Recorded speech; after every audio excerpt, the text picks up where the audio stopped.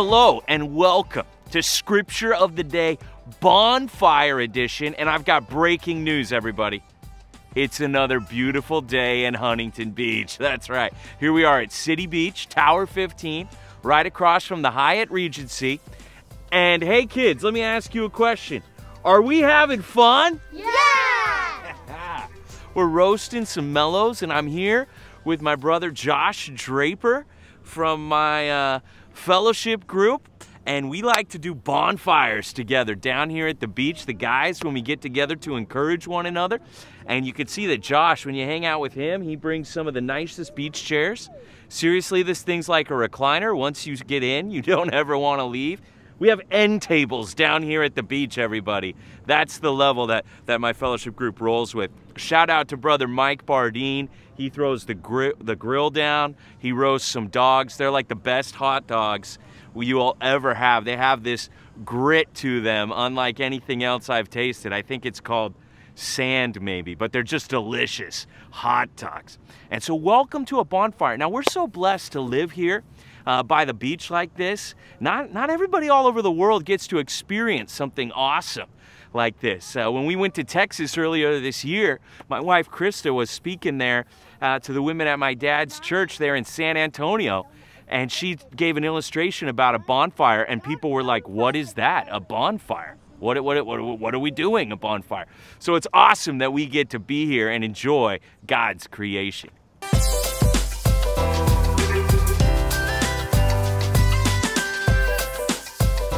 Today's chapter is 2 Timothy 1, and Paul's writing to his true son in the faith, Timothy. And he says that he needs to fan into flame the gift of God that is within him. And I was looking up that, that Greek word there, fan into flame, and it said, revive the fire.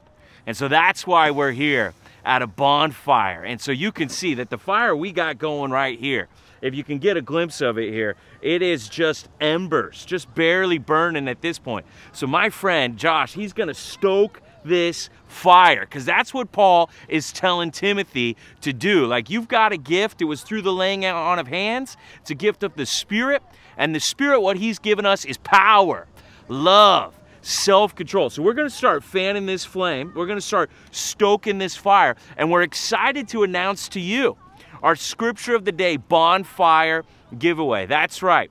My friend Josh, myself, Maybe we can get Mike Bardine down here uh, grilling some dogs. Maybe we'll get Ryan Pierce over here playing a little worship. We want to give away a bonfire for you and your family, maybe some friends from the church to come down here and enjoy God's creation together and stoke the fires of our heart into a flame for Jesus Christ. Are you with me, scripture of the day? Can I get an amen from anybody right now? So here's what I need you to do. If you want to win, a bonfire experience at Tower 15, uh, right by the Hyatt Regency at City Beach. If you want to be here with us, sitting in these chairs with the end tables and the cup holders, if you want that experience, leave a comment on this video, 2 Timothy 1, the Revive the Fire giveaway. Leave a comment and share with us a passage of Scripture that stokes the fire of your heart for Jesus Christ. A passage of Scripture that every time you hear it,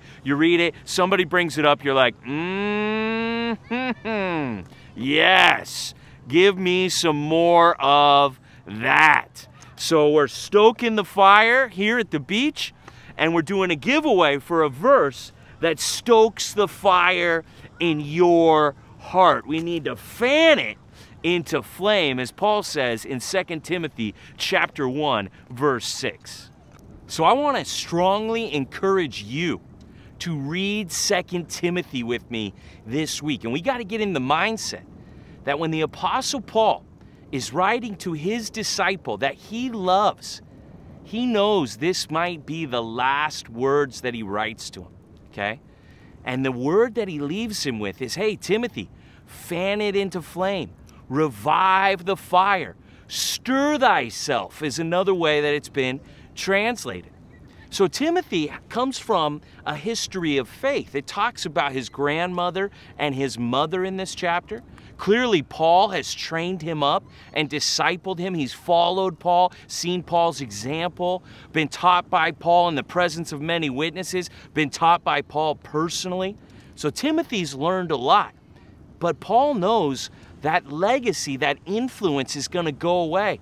And Timothy, he's going to have to stir up himself, the power of the Spirit within him. He's going to have to get that revived going within his own soul. So, this is something all of us are going to have to do. Hey, if you've been blessed in your life and you grew up in a Christian family, hey, that fire, if you don't stoke that fire, if you don't stir it up, that fire is going to die out. Now, you can see my friend Josh, he did a great job stoking this fire. I mean, it's burning my face off right now. I mean, he really got this thing going. Hey, I got to ask you a personal question. Is your heart really on fire right now for Jesus Christ? Is that really where you at? Or do you need to fan it into flame? All of us are going to have these times that we need to get stirred up and revived. Maybe you've been discipled by somebody. Like I got discipled that uh, my whole life really by my dad was an example to me, teaching me. And then at Compass Bible Church, Pastor Mike Fabarez, Pastor Pete Lazushikov, they invested in me, but nobody's there holding my hand every single day. No, I've got to, me and the Lord, I've got to have revival right here in my heart. And so that's a strong word that Paul gives to Timothy like, hey, I'm not going to be there. Grandma and mom aren't going to be there. It's going to be you, Timothy, you as the pastor in Ephesus. It's going to get real, and you got to stir thyself. You got to fan it into flame. So that's our, our focus here in this first chapter as Paul recounts how he's a prisoner and he's suffering and what Jesus did when through his death he brought life, he brought immortality through the gospel. And he's like, hey, Timothy, it's not time for you to get ashamed of me, the prisoner of the gospel, or of Jesus who gives us immortality through the gospel. It's not time for you to back down, Timothy, after I'm gone. It's time for you to stir up and stoke the fire of your heart. So let's all take that that word of encouragement that Paul gives to Timothy. Let's take that to heart here today.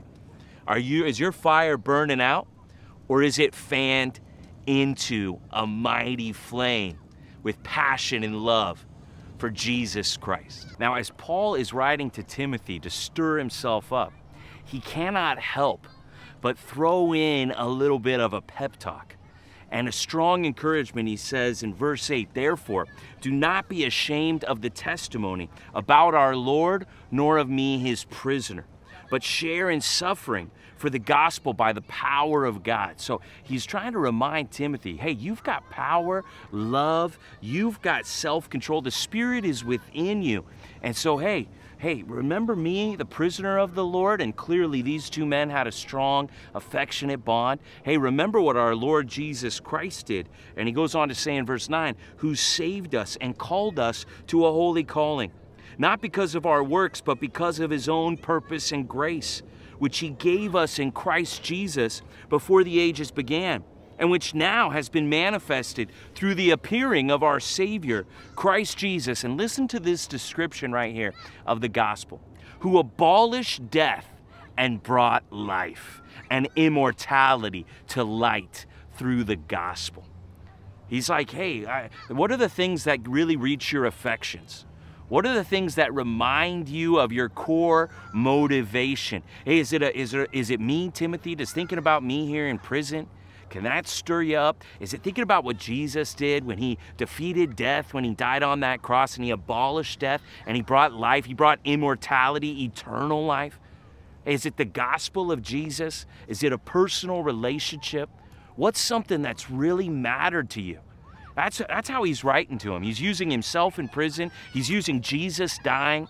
Timothy, can you remember? Are you ashamed of it? Or is this what really stokes the fire of your heart? I remember one time when I was in college, I, you know, I had this great teacher. I talk about him a lot because he really influenced me and inspired me. His name was Dr. Simons, and he was a man who was a pastor and then he was a writing teacher.